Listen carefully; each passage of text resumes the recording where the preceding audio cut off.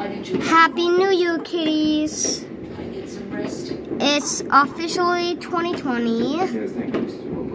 And one thing I wanted to an announce is it's my last video of 2019. But thank you for everyone. Like, I didn't know this would happen, but I reached 200 subscribers this year, which makes me very happy.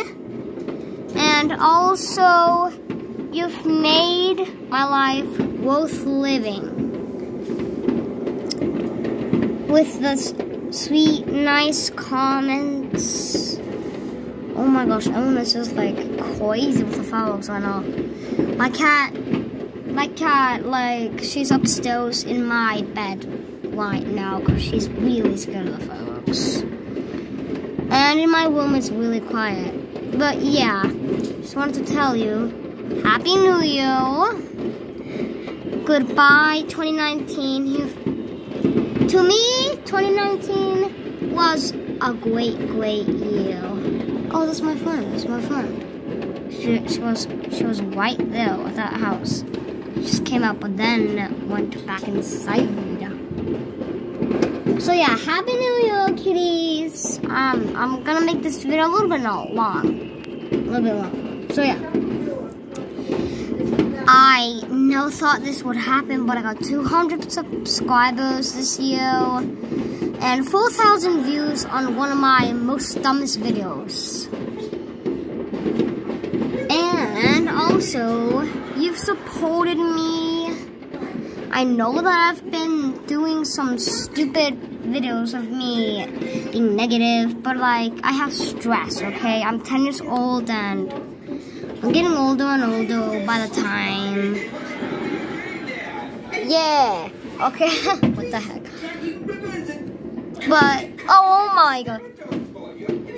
Um. Yeah.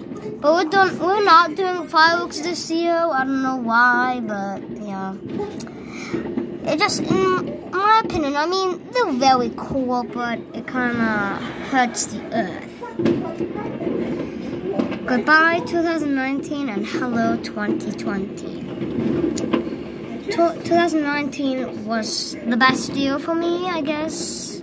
Besides my stress, it was an okay year.